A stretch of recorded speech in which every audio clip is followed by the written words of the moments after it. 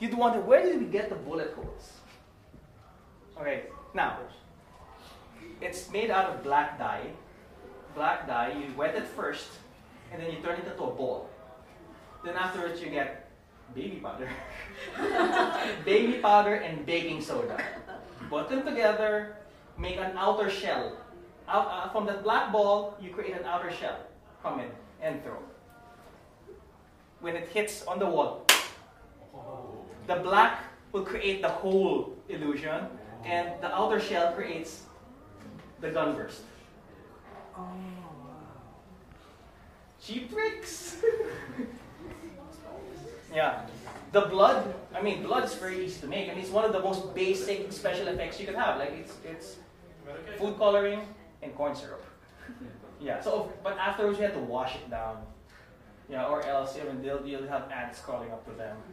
Yeah, we, we during the shoot we actually had ants starting to come up. I'm like, yes, yes, yeah. And uh, the only hard part we did here were the claws. The claws are real. I, I met up with that body kit maker and I told him, could you do aluminum? So I asked, I really pushed him and asked him to do all sorts of crazy stuff. I'm actually having him do a Captain America shield for me. Whoa. yeah, it's cool. It's cool. Because we're shooting, a, I'm shooting a Black Cat soon, uh, a Black Cat manga verse, the manga version with Alodia soon. So we needed a shield. Anyway, that's coming in January. We, we plan our shoots months ahead. That who, way, keep, who keeps the stuff that you make? it's all in the studio. So every Halloween, people call me up, Jade, which costumes do you have there? So we have Dark Phoenix, the Green Phoenix, the Green Phoenix, the White Phoenix. We even have the Cyclops visor. Everything's there. So it, it, but it, these are all the props that we gathered throughout the years. We even have a fake fire hydrant. We have a fake road sign. We have a fake bazooka. For all, for all other projects, paid or not. But they're all just stuck there in a warehouse. So eventually it became a library of props for us. Um, when, when, the, when the blades were being made, well, my prop maker didn't have a good vice grip back then. So what he did was he got the blade, then he stuck it into the door jamb there, and he was grinding it.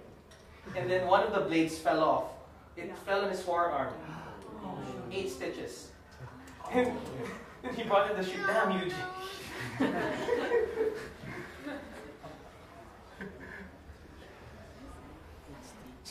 And then the other one was yeah, the adult version of X23. Because I had to, because the model was hot. she was damn pretty. And her name is Solène. She's half French, and it so happens that she's also a prosthetics makeup artist by her own right. She's a makeup artist back home, but she's already a celebrity now. But back then, she was a makeup artist. I'm like, wow, you look so good for a makeup artist. you look better than the model. Yeah, so she did her own. pros- She came when there, she only came with the slashes and all, which is funny because after the shoot, she attended. Um, she she went to a, club, and she didn't take it off. then she goes in her press release. So I had to with my boyfriend. yeah, questions at this point. Oh? I, I, I get babbling. I don't know. Oh, okay. Oh, good. Uh, oh, there you go. One, one. Questions, guys, please. At the beginning you were saying you'd rather like have just a few techniques you use a lot. Yeah. According for these, like what techniques do you find you just use a lot, either in post or in shooting? Dutch uh, Dutch angle, the, the, skewed um, hor- horizon, or there, if you notice, if you're shooting superheroes, they have to look grand. You can't shoot them on one angle per se. So if you notice, I would either sit on the ground or go up. So it will make the extremities huge, grand like that, or up there. So if you notice, especially with the Miss Marvel and X23 here, they're, they're, they're not shot on eye level. They're always shot from below or from the top. Those are those are the basic techniques we did. And then what I'll do for your lens, I'll go wider. 24. Oh, not so much. Well, probably a 50. You can. It all depends on how much distortion you want to put in your image. Yeah. Uh, excuse me if you get to see some some naked girl at FHM, but I have to go through my cycle. Oh. Oh, this is pretty interesting as well. Uh, Silk Spectre from The Watchmen. This almost did not make it out because I wasn't happy when the shoot came out because the costume had a lot of problems in it. Um, but the technique, the, but the technique here in being able to merge the shot properly, so you, you have to imagine. I was imagining in my head the scene. Remember the scene when you have anybody seen the movie Watchmen? Remember the scene when she was in the prison when she was breaking out and it was all fire. I want to replicate the exact scene. So I thought in my head, how do I? If I were to blend fire into my shot and blending it properly, how do I create the illusion? So when I shot her as it is, I fired orange lights. I bought orange cellophane. And if you want to replicate the same technique, I mean, you can get you can borrow flash heads of your friends, put orange cellophane on them, put them wherever, and then fire them at the same time. And you would have the orange glow of how fire would have been from a distance. So when you placed fire into the shot, that's it. And what we did for the fire, um, stick cloth with doused with gasoline, stick in the middle of the studio, and stay away in the shot. You know, uh, what happened? I feel sorry for my production designer because he went through a lot of shit. He actually burned his eyebrows off. it was comedy when you see him, but for one week he had nothing on here. it's hilarious.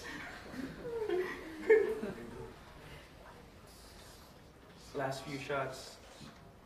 Some of the stuff, for example, I was able to execute stuff for work, actually using the techniques I learned from from cosplay. Where are you? Oh, there you go. Oh. This is an ad back home for San Miguel beer, but they wanted me to replicate the HDR effect. So yeah, that's for San Miguel. It was a billboard back home. Yeah, so the art director, can you do me the same style as you do with these superheroes? Okay. But can you do it within 10 minutes? What? yeah, I was shooting this at 1 in the morning. And since it was a beer ad, and it was a mock-up set inside the studio, you know, the, all the talents were really drinking beer. So by the time it was 1 a.m. and they were like, smile. yeah, but you know, good thing they kept up with the rules and yeah. How many lights in use? Huh? I mean, how many lights? This is eight. Eight lights. How I about had- the background? Eight I had to light it up. Oh. I had to light it up. Even if there were already real lights, since you know, I mean lights for the television commercial, it wasn't enough.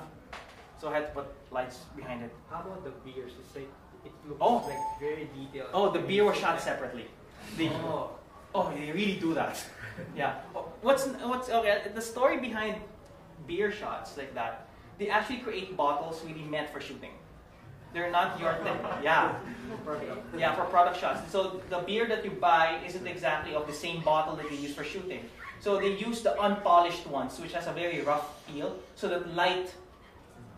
Bounces on it very nice. And what they what we do is that we drill the bottom, so it's really a bottomless beer.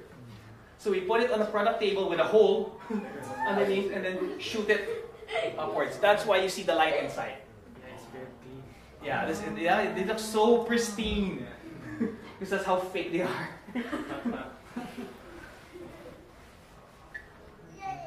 Alright, cup. If you notice some of the stuff I like, like, you know, pin up. I mean, this is already outside of what we the usual cosplay, pin up. But believe it or not, it's an actual house. It's an actual house. There was, a, there was some person who was into these, you know, diner kind of things. And ah, can I shoot in your house? yeah, you know, I, I really put up a fake face. Can I shoot in your house? Can I borrow this? you know.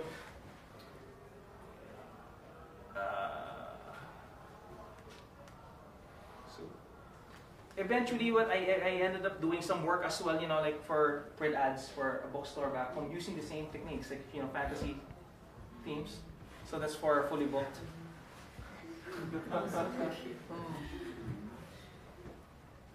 yeah. So um, the main point why I do this, well, aside from I really enjoy shooting cosplay, was it showcased my my working relationship with my production unit because I've been working with them for the past ten years. So it came to the point that we hardly talked to each other the moment we landed in the shoot. Okay, this is the idea. Okay, this is the idea. They just work on it automatically. It's just a matter of finding the right friends to hang out with. that's, how, that's how we eventually came together as a, as a team. We were drinking buddies in the shoot. yeah. Questions, guys? Are you good? Are you good? After this, we will take a short break. Then we will reposition the lights for a shooting demo. So if you guys would want to stick around, then I'd show you guys, you know, the logic of the basic logic of how we like these things. You know, stick around. But last, going, going, going. Any questions before anything else? Before I break it up. Sounds like a girlfriend boyfriend relationship. yeah. Probably, uh, I don't know, last one last photo is. Oh, this was another Elektra shot we did. One of the few times I had to tell myself, because the costume looked so good on her. She looked like Jennifer Garner. so, you know, I usually gun for one pose, but she looked good. Can you do another one? me?" I, asked them that, it's such a key. yeah. Yeah. Questions, guys? Anything else? Yeah. Yeah. Was Photoshop necessary in? For cosplay, yes. Because it's the end effect that you want. It's all part of the concept. If I wanted something that, you know, at the end of the day, I wanted something that will make you think whether it was a photograph or a painting. Hence, well, post production is a crucial part. So if there's anything I give a lot of credit on top of the photography, it's the digital artists who I work with, who I collaborate with, to imagine the final shot in our heads. Yeah. But for example, Alice technically had very minimal photoshopping there in the sense that it it was just high pass. Because everything's already there. Yeah. When shooting for cosplay, do you always have to copy an Not necessarily. existing, an existing photo, No, or like- can, like can you said. come up with your own idea? You can, of course, that's why you know this. Like I said, you can, you can. That's why there are different types. Like peg replication is where you copy it per se, or you can go like character centric, where you, you have your own idea. I mean, most of these shots are really just offshoot of our idea, and we just shot them, you know, wherever. But there are just some iconic shots for me, like Riku, which I had to copy it. That shot is so cool. It, it really, it really depends. It really depends. Because uh, back home, we usually eat in this uh, Chinese restaurant, which had the best dim sum and the best beer. So that's where we come up with the ideas. We'd stay there until like 2 in the morning.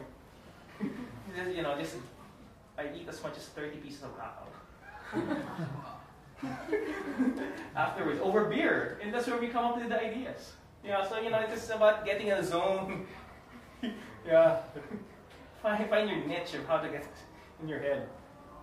Or some of them I think about in the shower. Oh yeah. yeah, yeah. You know, it's as simple as that. Really, it's come to think of it, yeah, it's pretty hilarious where you get ideas from. Uh, anyway, yeah. So without ado, thank you, and I will see you guys in about an hour, an hour and a half. This will be set up, okay? And you enter your aperture, and it will tell you that. Yeah. So now the, the measurement that I did here is f8 at 1 to 5. And my distance from them was two and a half meters out. So with that formula plugged in, it gave me a depth of field of 4 feet front, 4 feet in the back. Alright, what does that tell me now? So instead of focusing on them, I focused on the chair. So that because the chair is the center of the shot. So four feet behind, four feet in front is in focus. Even if you don't see it in your camera, but it's the fundamental theory of depth of field. It told me that it's four feet front, four feet back. So I trust on the theory, shoot it. And it came out that way, still in focus. Even if in camera, it doesn't look like that. It doesn't look like that way. So this one was pretty wide. Then. Yeah. The giant deaf guy, was, I thought he was like way, way back. Yeah, back. it's not. Yeah, yeah. It's they're, they're pretty squished. yeah, the block their blockings are pretty squished. They're like four within four feet range of each other. Yeah. Again, you know, it's found in Light Science and Magic. I'm selling the book. No, it changed the way I Yeah, take yeah. pictures. I swear, it changed the way. I, seen, I used to take take it for granted when they read it. Oh shit, I didn't know anything. I actually bought that book about a year ago, and after reading the first few Chapter. paragraphs, I, Yeah. yeah. now I should really take it out, take it out of the cabinet. Yeah. like, what? I, I really forced myself to finish the book. I see, I was asleep, I was dozing off, literally, but I had to finish it. And there are a lot of things that I was able to use in advertising that I, that I learned out of that. Yeah, there's there's actually a lot of stuff that you can find that it's already in traditional knowledge. It is. It's, not it is all in traditional photography. It's just a matter of where to use it. And, and why I chose cosplay because each superhero has its own nuances, had their own technique. So it gave me the reason to learn more. It gave me the reason to exercise it.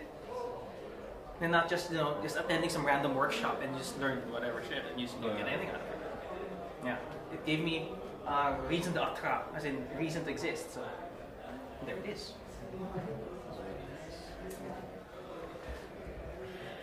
So these are FHM stuff. Those.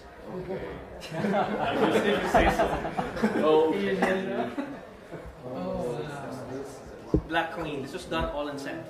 Everything's there. everything. Everything's there. No, but the weird part, it's a piano, right? Oh, yeah, it's a piano. It was a destroyed piano that we saw in some junk shop. Yeah, we got it for keeping in mind, 20 cents. The entire thing. Yeah. It's because like no, we, do, we don't want to take it. Yeah, exactly. Nobody wants to take it. We do. So the skulls as well, the skulls were just... The skulls are about computing them at three, three cents each. And we got it off some costume, some costume shop, and we had to make sure that the eye sockets were deep. Yeah. Yeah. From then, we blended it with black. We coated it with black paint first. So the the the, the skulls used to be white lah. Yes, it used to be very white. now with. Now we we did a combination of silver first coat, second coat is black, last coat is Silver so distress. red. So it has some texture on it, and we got sandpaper. For the distressing. Yeah, for distressing for the part. Yeah, and then baby powder. Is it like when in doubt, baby powder? But exactly, when in doubt, baby powder. you know. You have a contract with Baby Powder. I know, Johnson and Johnson's. I should be an endorser of Johnson and Johnson's. Yeah, baby Lifetime powder. supply. Lifetime supply of baby powder. Yeah. You could YouTube this. It's if we there's a link online on how we made this. Yeah. This was featured in TV back home. Yeah. So the candelabras, I found them in my well, my, my paternal grandmother's mausoleum. Like, You I'm like,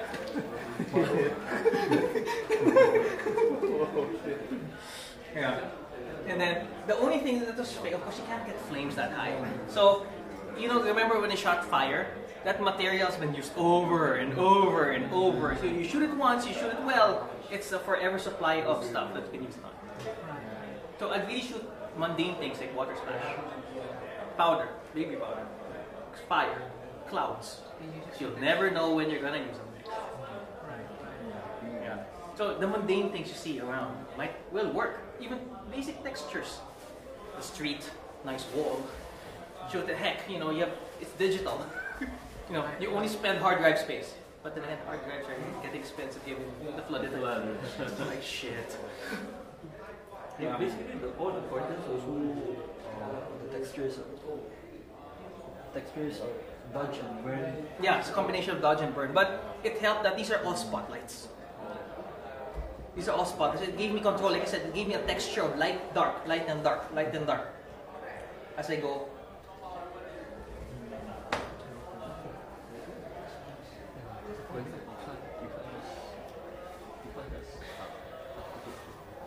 Versions of my Black Canary, the solo one, and and the group one. Oh, okay. Same shot, but I gave it to two different art directors to give its own Trident treatment.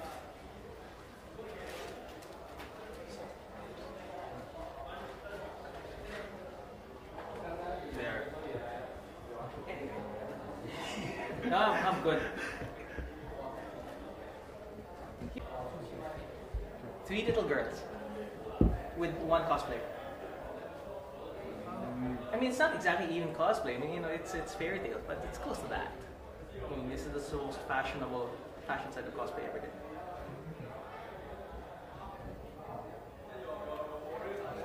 She uh, she actually has these two other costumes. So this one I used in my old exhibit and rehashed the costume again. Yeah. Yun. Anyways, so yeah, I'll see you guys in a bit for shooting them. If you guys want to stick around, yeah, we'll do that later. Thank you, thank you, thank you. No, that Bob. No, that's Elkanah. Elkanah's always below. Why is Elkanah so sketchy in Iron Marvel? you got your you got your brows done. Gotcha. That uh yeah. Yeah. Nice. Looks gorgeous. Are you okay? Can you bet? She has, she has the same problem as you. She both can't sit down. Yeah. Cannot, cannot walk one minute. I can sit. No, when you're in armor, it happens. I can sit. I can even, I can even do the against. See, this is why I don't want to do armor. No, that's the reason why some troopers cannot sit. Yeah, stormtroopers have the same problem. Couch, couch carrier. Shit.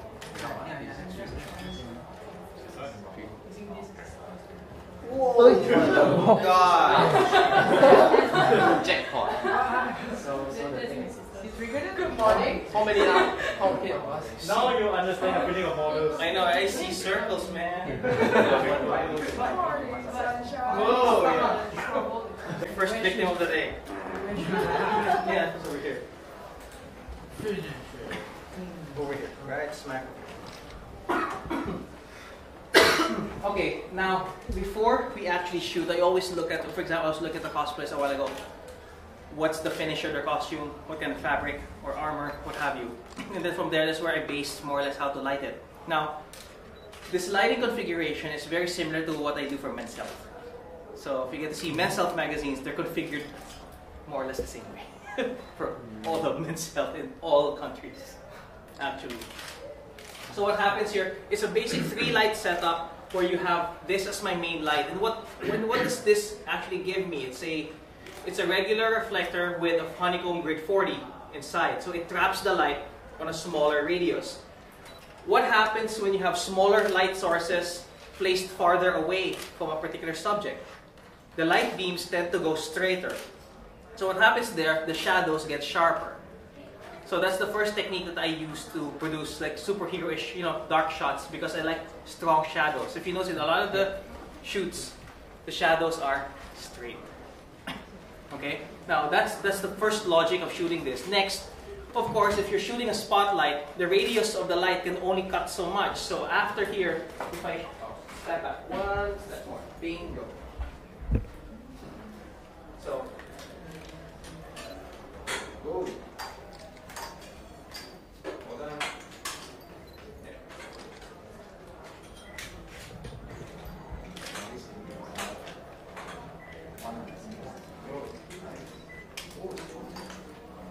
Is this hitting her already? Is this hitting you there? Is it on your face? Yeah. There you go. So what I do, actually, I look at one time. Actually, turn off all of my lights. Oh, can, you, can somebody turn off the house lights here? The back also. Everything. Everything. There. Now, look up and turn to your right. See? So what I always practice it by one light at a time. That's how, for example, you guys wonder how the lighting setups become complicated. It does not start that way. It starts with the basic setup of having one light on my model. then we take it from there. Then it becomes more complicated. As I see it, there's a strong light over here, but the rest of her body will become darker because of the trapped radius of your light here. Hence, that's the logic of having this here. It will work as a fill to cover the rest of her body here to make sure it's properly lit. Now the secret here is the ratio between both of the light. Whoa!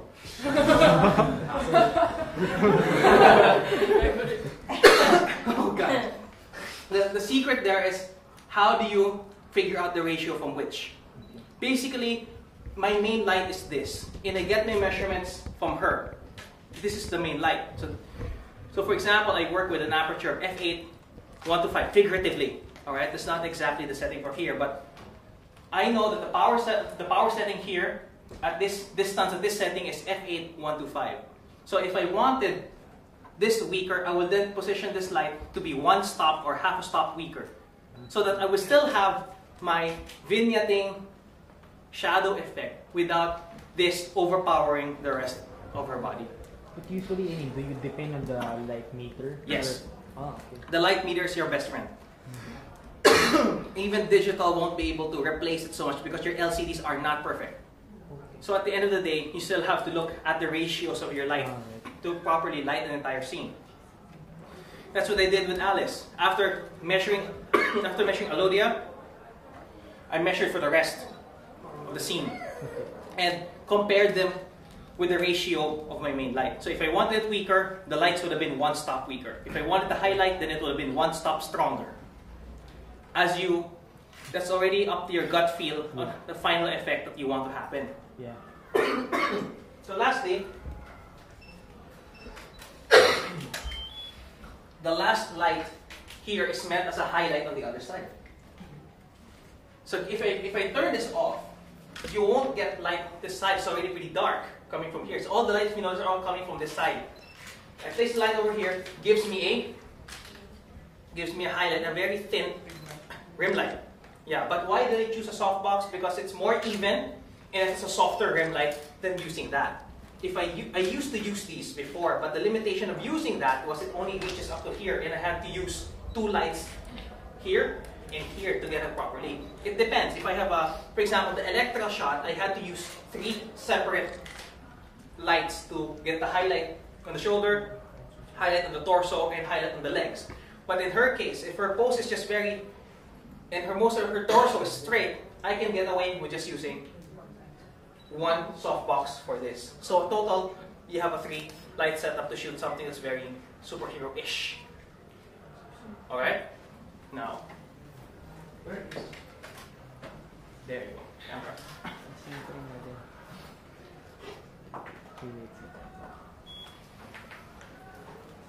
Let's run a test. Dear, can you turn towards? Yep, take that. Good. Yeah. Okay, then what you do on your left, oh, sorry, on your right, tip to it just a little bit, and then there. That's good. See, basic posing to accentuate most of. Hold on. All right, that shot. What?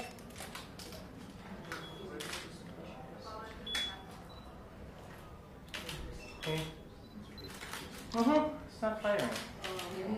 Guys, uh, Okay, maybe we stop the Oh. camera for one Perhaps you minute. Guys could. Uh, Oh, can you turn on the lights? Can you turn on the lights now?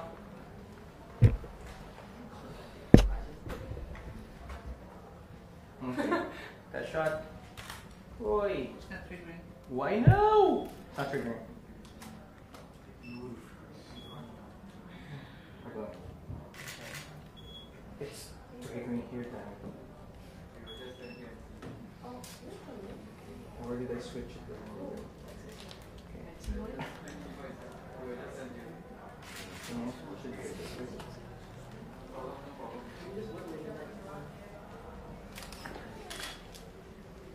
Here, get there, sorry. There you go. There you go. Ah, oh, where's this guy over there? But if you guys would see the logic here, if you could give me the screen. Hmm.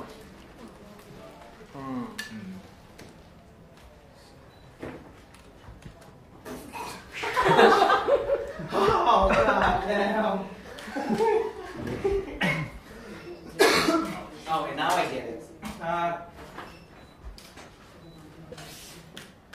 do we have a reflector? Anyone? Any shiny thing. There should be one in the Yeah, yeah. Um, Yeah. or design phenomenon. Back then, we used to call it the Hans Brugman. if anybody's familiar with the brand Hans Brugman, it's a silver, it's a high-end silver brand. It's a cheap way of making it anyway. It's a, it's a professional joke back home. We call it Hans me a moment, let me just let me just grab pen. Sure. Zed. Zed. Look at this. There you go.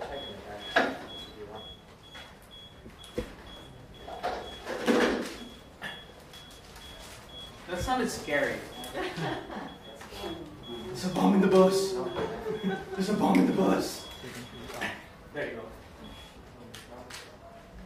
Oh, you're still blind. There you go. Now you're firing.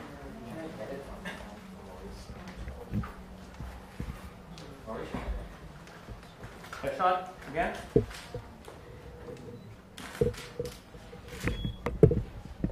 There you go. So for like you happen here. so what happens here is that I'm now getting a fill. But the thing is she's wearing silver armor, silver plating. So what's gonna happen here is it's gonna reflect so much light. So what we do, another technique is called doing a gobo or flag. So we can do that by actually putting a go between somewhere, like anything that's black. Like this. and positioning it, do the keep the post there. And positioning it somewhere here. So we know that the shot's gonna be dropped out, so it's okay if the hat is over there, as long as it's not covering her. But it saves us of the over glare that happens on the chest. So you have to, if when working with a cosplayer, you look at their costumes, you look at their armor, and you find out what are the reflective points and which are the ones that are going to eat up so much light. And that's when you compensate for your lighting technique. So it's over here. So if you notice, I'm already getting a dark spot. So which means I will get more texture on the plate. Because if you, if you just shoot it as it is, it will reflect it completely like a silver reflector. And you will lose the details on her chest. So you place something that's black, or you cover the light, and you flag that little section over there. Okay, the further away the hat is, or the further away the flag is, the smaller the effect it will be. The closer it is to the body, the more the shadow is prominent. So you just have to find out which one is which works for you. It really depends on the cosplayer's costume. Okay? Just need to find out a way how to reflect the light over there. Or Cable. Cable. Can we, turn this on? I think it's already on. It's on.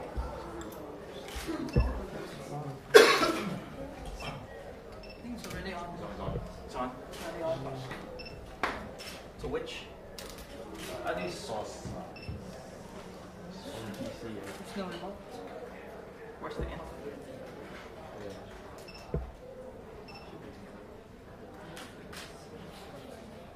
So as a model, are you really tired now?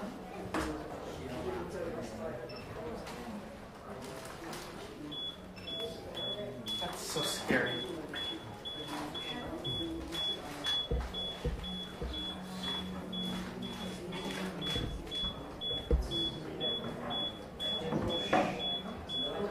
You set the, uh, the sauce. How can you have a HDMI selection? AV connection, AV connection. Does anybody have an DB cable? Are you okay? Hmm. Just need to find out a way how to trigger this light. Then we're good. There you go.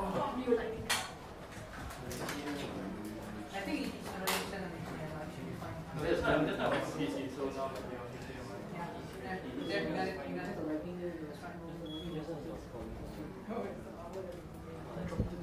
Wow, there's no That's the case, I think I should get Yeah, there. I just need this third third light to turn on that can show you a sample.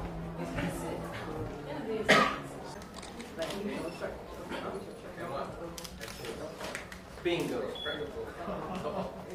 There you go. Sweet.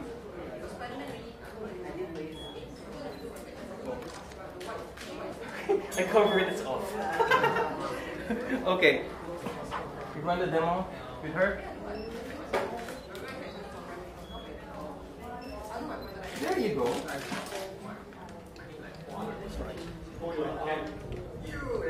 Nice.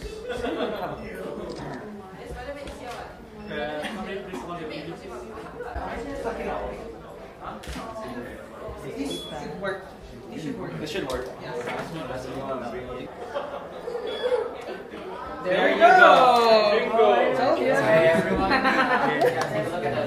And we are back in the game. All right. Two lights, one light. Okay, this is uh, one light. Two lights. Three. See the difference? You always hit the JPEG too. Hmm? You always shoot one. Raw JPEG. Just to make sure. I mean, whenever I turn over to the art directors, they look at the JPEGs first and then select. but it became practice. I always start shooting with raw and JPEG. I don't I don't shoot JPEG per se or raw per se. It's very hard to manage, at least for my workflow. I need to see both. Alright, so it works. If you notice, there's a significant difference between the brightness, especially with the first and with two lights and three lights. Alright.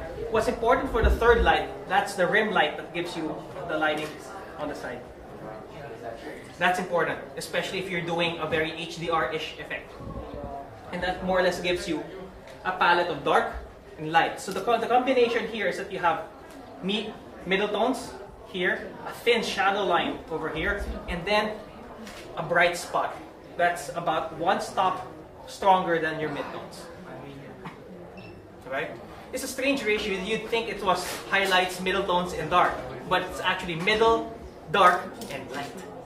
That gives that 3D effect. Alright?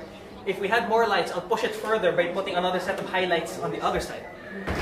But to work off a three light setup, middle tones, shadow, and highlight. That's the basic formula, at least for health.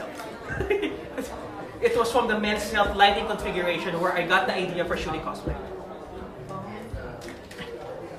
For the second and third light, what is the default uh, setting the F4 F4 In this case, I can reduce it, if I'm on F8, I can reduce it to 5.6 or 4. Could be either. Could be either. Alright? And especially for here, at least for here, I'm setting this as powerful as F11. Oh, For here, for the highlights. It's just about positioning the lights properly. I mean, given given more flexibility in our in our equipment, I would have placed the light a lot more to the side so that I'll have a stronger shadow line here. But if you notice already, the highlight there, shadow, especially on the face. And what's uh, what's nice about our cosplayer, she has a nice jawline. So if you guys notice, just a nice jawline. If you notice, especially when I do my cosplay shoots, cos uh, models, actors have a good jawline tend to appear better on camera. Or, you know, put on makeup and to give a contour underneath here. What? Contouring by putting one shade of foundation underneath. Oh my god, why did I know that? putting one shade foundation lower here. Or if you want to make it prominent, one shade foundation darker of their skin tones. So supposing if that's your skin tone, I'll get one shade darker, I'll put it underneath here, and then that, uh, and then and then the shimmer. It's a very thin shimmer, powder, powder type shimmer, a line on the jawline here, dark, light, and then the right, and then the right foundation for the face. So you can, if you're working with a makeup artist, you can tell that to your makeup artist. Darker shade, highlight, middle tone. So that when I shoot it?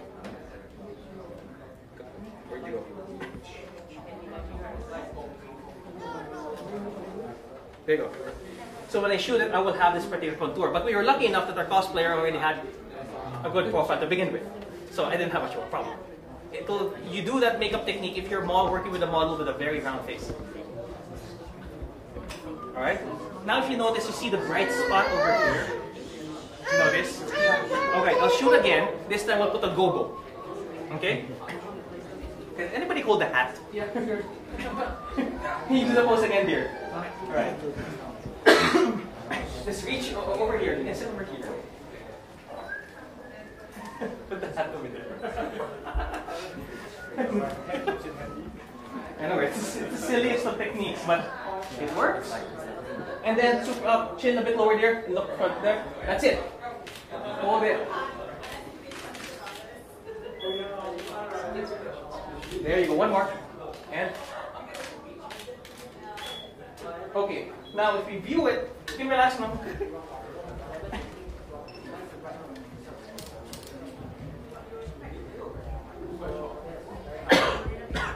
Imagine the first one, I lost detail over here. Oh. You recover it now.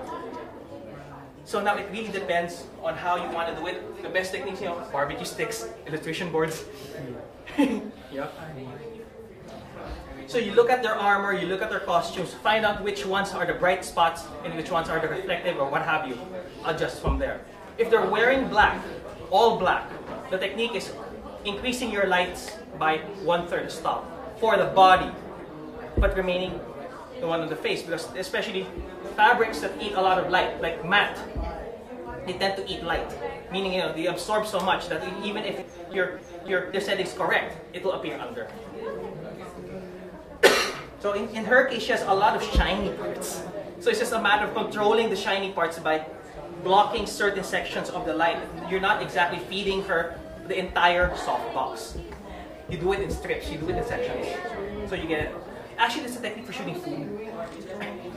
Yeah, we borrowed the technique from shooting food.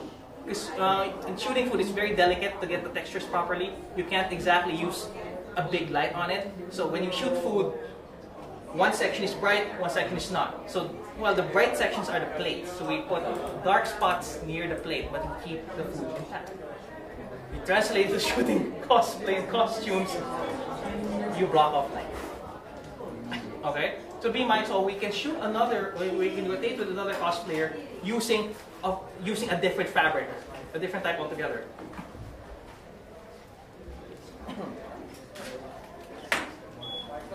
oh, oh, this.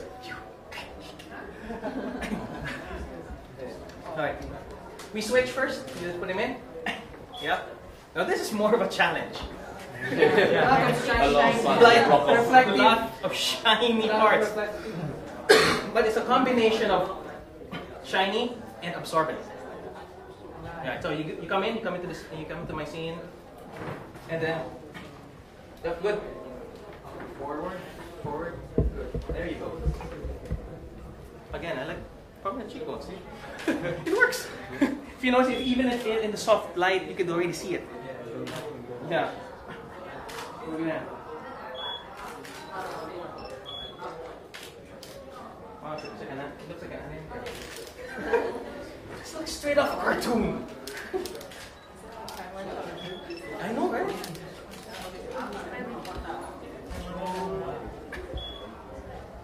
Now the challenge here is the spot. So you can put the hat over here and keep the light over here. The good old hat. Alright, let's do it again. This time, let's put the hat.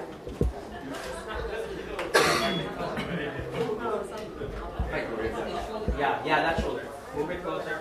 That's it. Since his, his, um, his shoulder is very reflective, we have to put it closer to block the light better. Okay, let me do it again. There you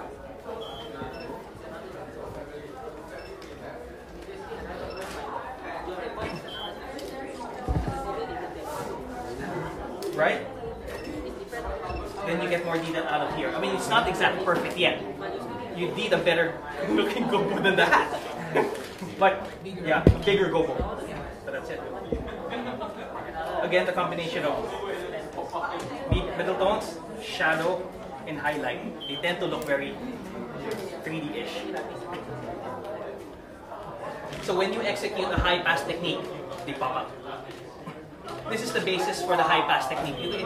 If you want to pull off something similar to a Dave Hill, not exactly, but you have to make it 3D-ish on lighting. The, the secret here is half lighting, half post-production. Never, never overcompensate on either one. And one cannot exist without the other for this technique to work. Alright? This actually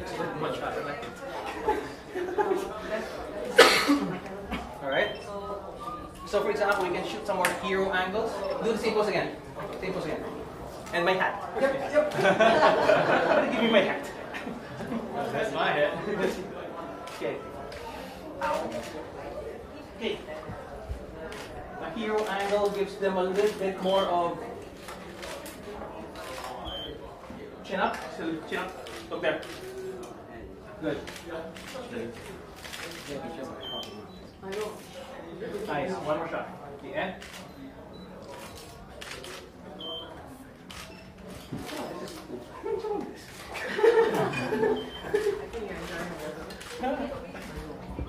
It's so and cool.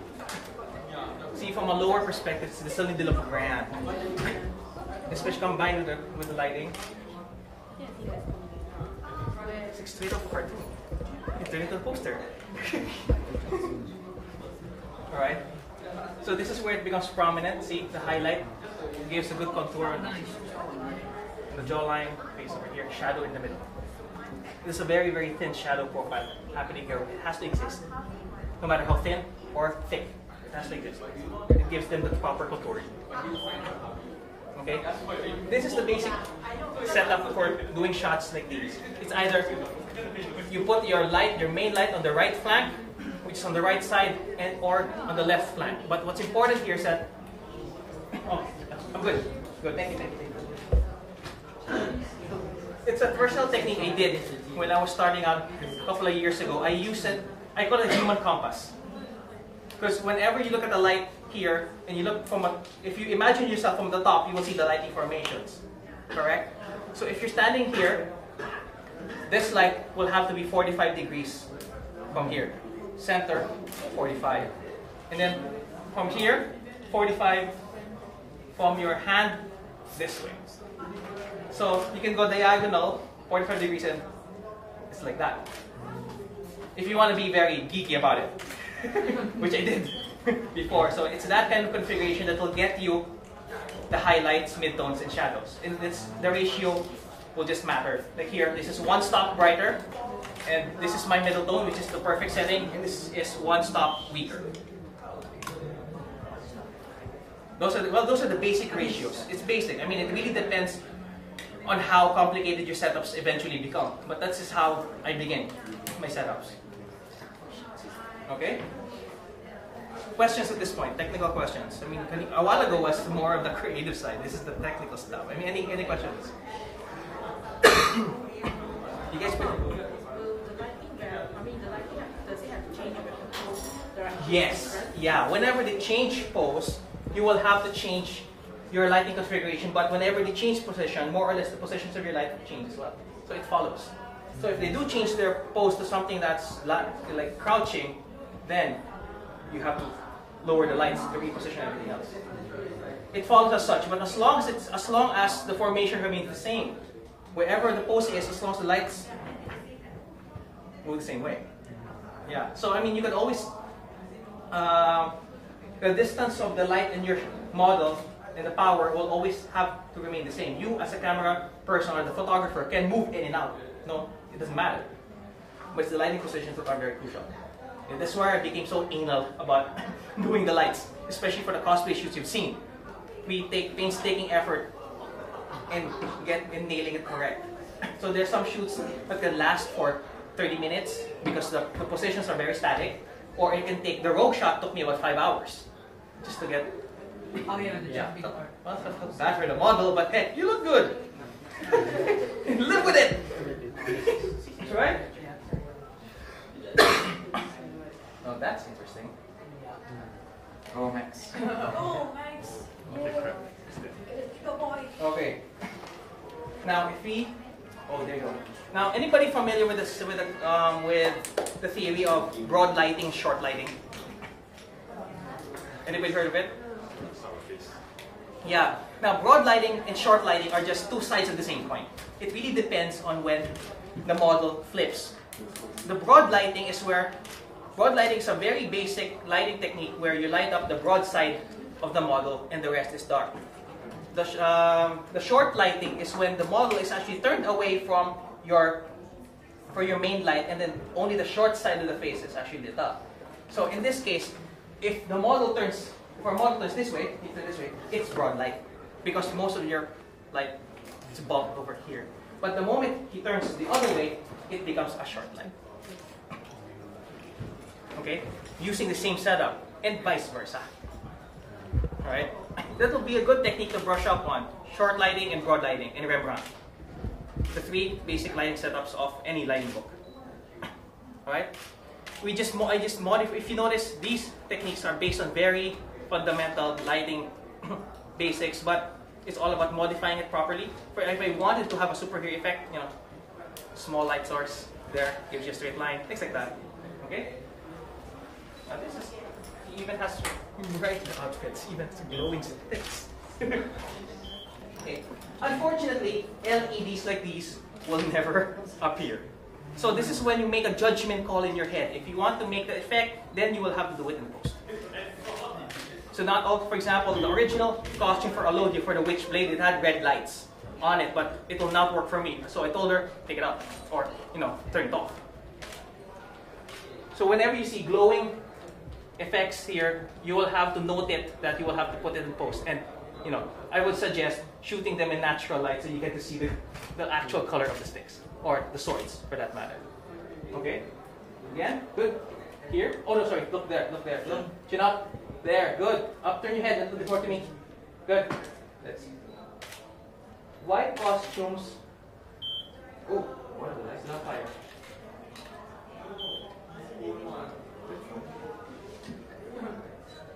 Oh, I think it's because someone's flash is uh, Oh, triggering okay.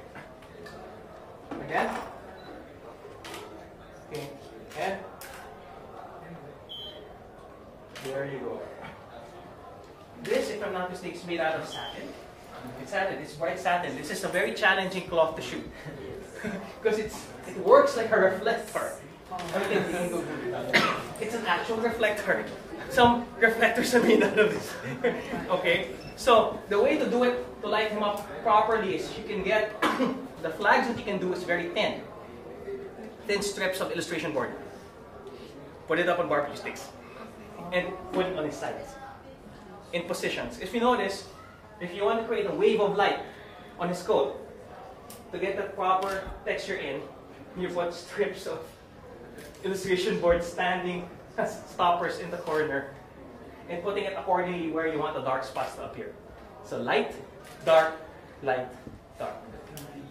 Yeah, it's basic wax on, wax on, wax on, wax on. Yeah. Alright, so you know, basic, it's very fundamental stuff actually. okay, turn front. So for front angles, I usually I, never, I try to avoid shooting front angles because it, unless you're really saying a statement. Other than that, I will always go for profile shots because it's the basic superhero formula. Yeah, if you notice, a lot of the comic book illustrators, they never really go for dead-on shots, especially for the opening splash pages. It's always at an angle. Alright? So, um, oh, you're good. Let's move. Well, the, yeah, yeah, yeah, guns. There you go. I'm not erasing them, so all they're all saved.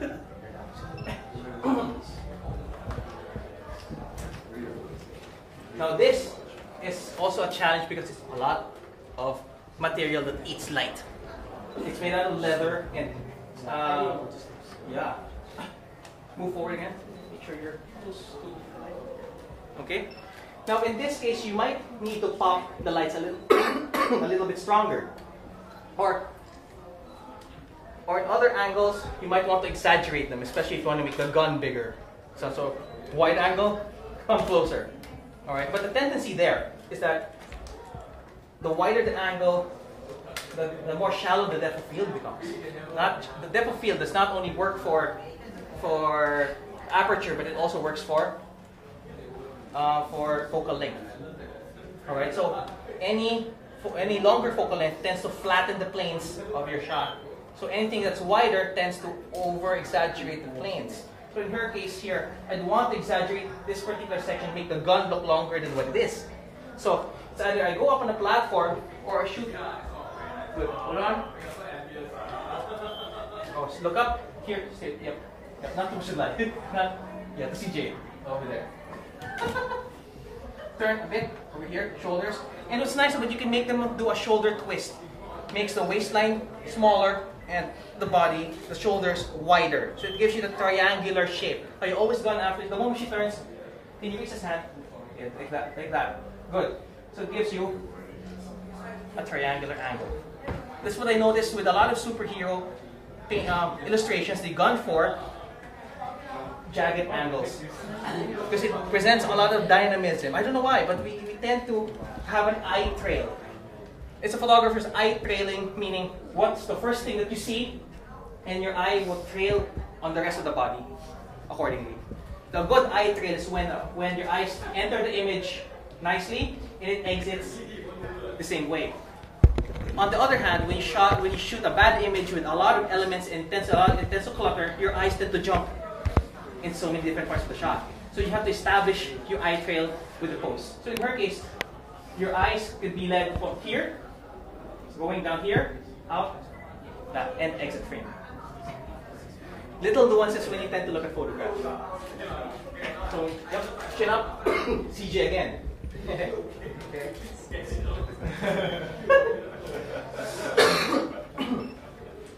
Hi, sorry guys, no, no, no clicking. There you go. Nice. Now here, I gave you guys an example of a light. Of since she's since she's wearing something dark, it needs an extra kick of lights.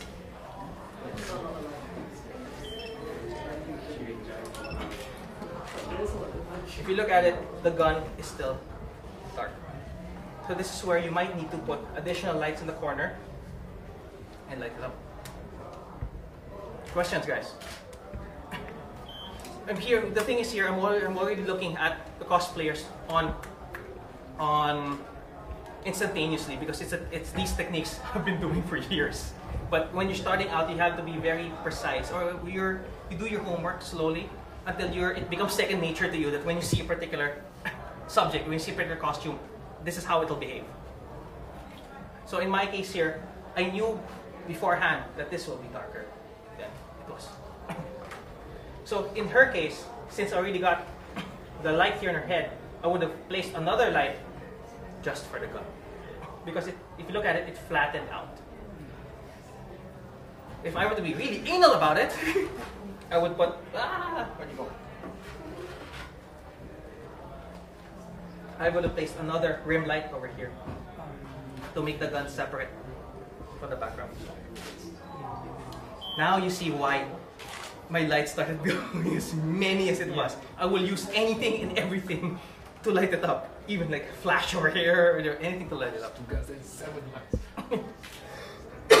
you can get, you know, realistically, well, not really realistically, but ideally, you can get away with five. Five. So if you go to a studio with five lights, hooray! You're good to go. Hmm? Five. but uh, this works with three. Again, it depends on the costume. Especially in her case, she has a big gun. You might need extra lights to light up the gun, the same as her. Or else, you know, so you, you wouldn't have a good takeaway from the shot. Alright? But in your case, if, you, if you're wearing this costume as they are without big protrusions, you can get away with three. Ideally, you could make it four by adding an extra rim light on the other side. Come on, turn on. an extra rim light on the other side because she already has a highlight over here. It would be nice to replicate it on the other side as well. Alright? Yeah. Questions, guys? Questions? You, you normally use like, like hair.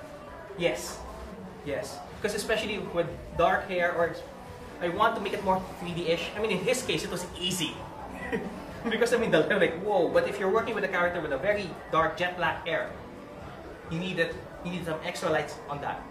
I learned that of shooting shampoo ads. Because shampoo ads are the bitch. All the lights, yes. Plus, especially if you have hair stunts. Just to shoot that single ad for Sunsilk took about eight hours. Just to get it in, and the client will ask, I want three bands of light on her. I go like, okay. So what happened was just for my just for my model's hair, I had three separate lights for each band that they want. Would people actually notice that? you know, you just buy the shampoo, you scratch your head, but you know, would they? Side story, the most anal thing I've ever had was shooting for coffee. Right, the client and the food stylist were complaining how many bubbles they want to see at their rim.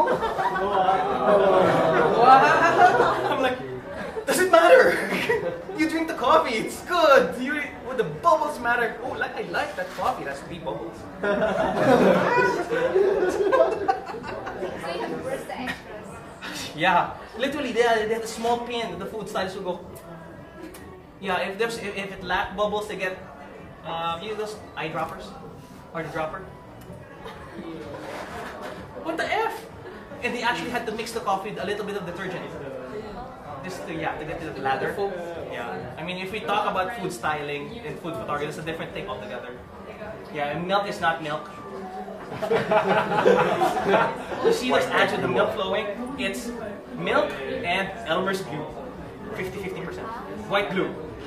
50-50. Yeah, and the chicken, the good chicken? It's motor oil. The best oil, Havoline. Yeah. anyway, that was like side stories of the industry. yeah, don't, we don't tell you here the FHM story. so that's you. Okay, um, let's get somebody else of a different type of fabric. Any any other cosplayer? CJ. Okay, there you go. DJ. there you go.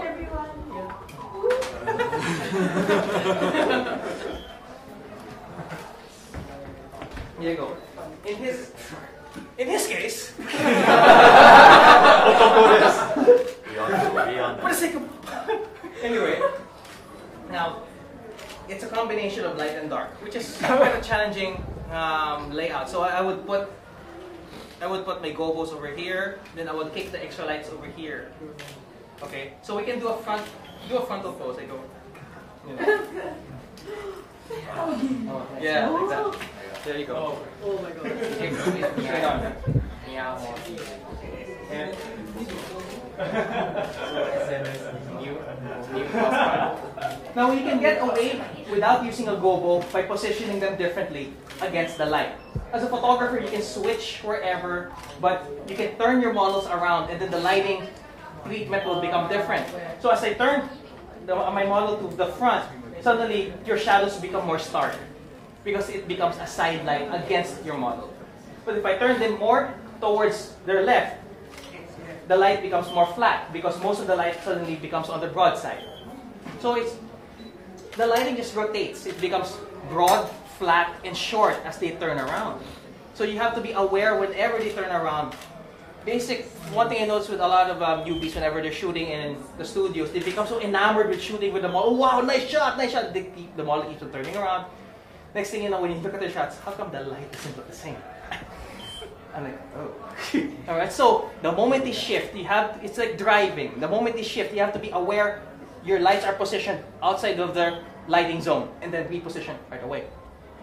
Like I said, it's in, in, in my lecture a while ago. It's being aware of the creative processes there. So the moment you're shooting, you also have to be aware of where the light's gonna be. And it happened with me, even if I'm already somewhat used to it. You know, if, if the model is pretty or whatever, I'm like, nice. Oh shit. then I make the I make the fatal mistake of you know um, having the wrong angles again. Then I had to redo the entire shot. Okay, so if you notice it's front angle again, do the same pose. Good. Again. There you go. Then, oh, sorry. Then we bring it out.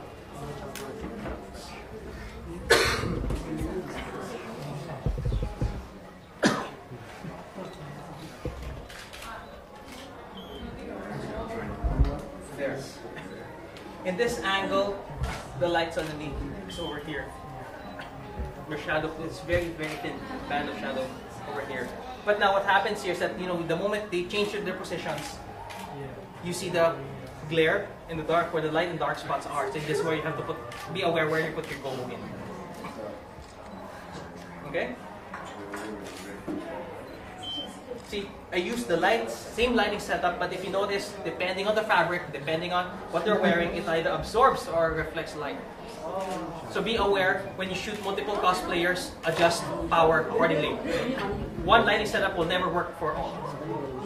Even if the setting's the same, the ratio will be different. Okay? Questions, guys? Any technical questions? You know what? I never care about the Yeah, because it's, it's raw. You can always change it in post. Yeah? Or when you're looking at it, sometimes the eyes get tricked. Well, white balance didn't really matter to me until I look at it in Lightroom or Aperture. Because uh, what's important for me is the shadowing and the positions. The color, the color grading could always be changed. So, so it's something I will forego. Alright, so it's just one less hassle or one less chore that I have to think of in my mind. And concentrate on getting your midtones, your shadows, and your highlights in proper place. So you always that uh, auto white balance. Well, you know what? For the sake of practice, or for the sake of, you know, I just put it in Flash. Oh, In Flash, because again, you go to Photoshop, change kelvins. yeah, yeah. But it also works if you know the white balance of your light. I work with Alien Bees. Uh, are you familiar with the brand Alien Bees? it's um, it's an American brand. It's very small. It's half the size of that. It's very compact. It's made out of plastic. looks like toys. That's why I like them. they look like toys. And they assured me that the white balance has always been 5600 Kelvin. So I shoot the model, I open it up in Lightroom, I always set it to 5600 and your white balance is correct. Yeah. Or if you want to be anal about it, gray card. That's, you know, uses the gray card? and um, gray cards, by the way, expire. So over time, they turn greenish. Yeah. So if you have a five-year-old green, uh, gray card, sorry, that becomes a green card. so it will not work for long. So that's why I'd rather use, I'd rather look at my white balance and post. And besides, if you notice, if you notice the cosplay shoots are very stylized. Anyway, there's really color grading on it, so white balance does not matter. Change. Right. But if you're working with general fashion, then the white balance becomes pretty crucial for general fashion. Work. Anything else, guys? Questions? Am I alien? Alien bees. Okay. Yeah. I used to borrow alien bees here. This one photographer who rents them out.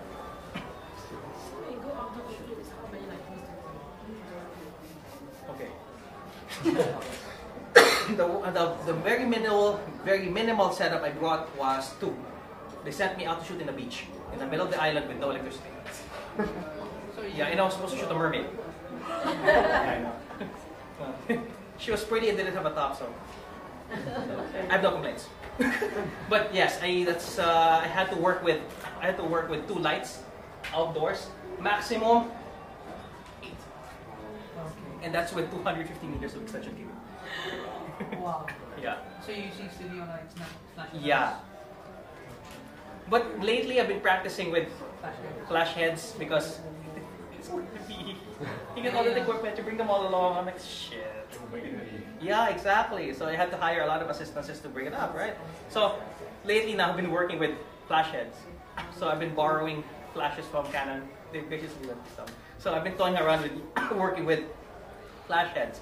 And you could always buy those um, attachments. There are a lot. They, they've been coming out with these nice nifty attachments, just made, just built for you know these like a Stofen or a Gary Fong. you know, Yeah. that's, that's very nice. It's very nice. You know, they come up with fake one. They call it a Gary Chong. Gary Chong. I know. I, I found one back home. This is, this is funky. Not like a Gary Fong, but this is Gary Chong. Chong is like slang for I know. exactly. There you go. So the, can you pull it off with just using flash? Yes, you can. Yes, you can. You know what? You know, you guys saw my black cat. The black cat layout. Half of that was flash heads. Oh, okay. How many flash heads? Three. Just three. Three. And that made my black cat shot. See? So you can work it off. You yeah, flash head keyboard.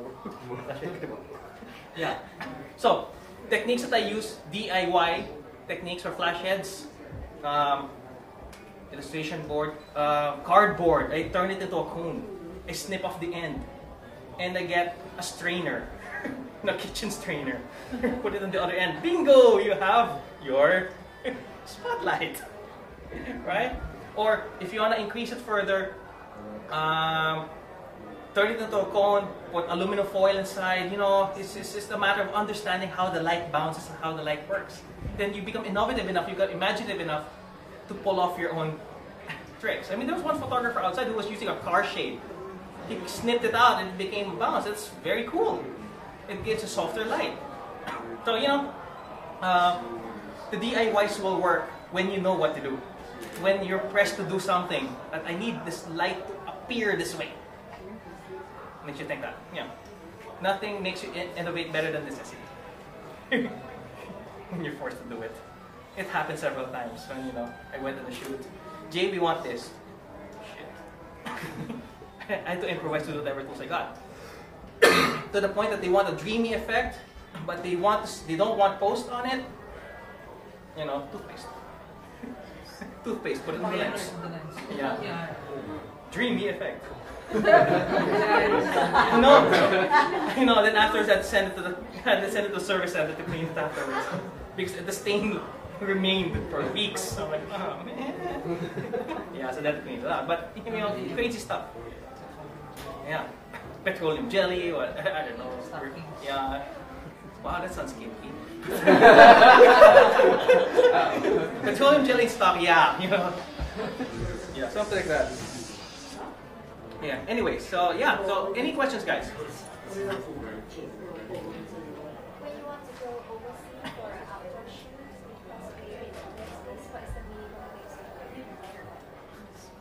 You know, I actually have them in this bag. yeah. What would it be? Hmm? What would that be? Three flash, those three flash heads is enough for me. It's enough for me, and a white umbrella, a shoot-through umbrella. That's enough for me to work with. Plus my cardboards. Reflectors, yes, one reflector. So it's a very minimal setup, could fit in one backpack. Those little reflectors that, yeah, put up, yeah. So So it's always three. Three, because it's a formula of middle tone, shadow, and highlight. It's those that three formulas that that makes up any photo to begin with, any fashion photo. So you bring those three, you're good to go.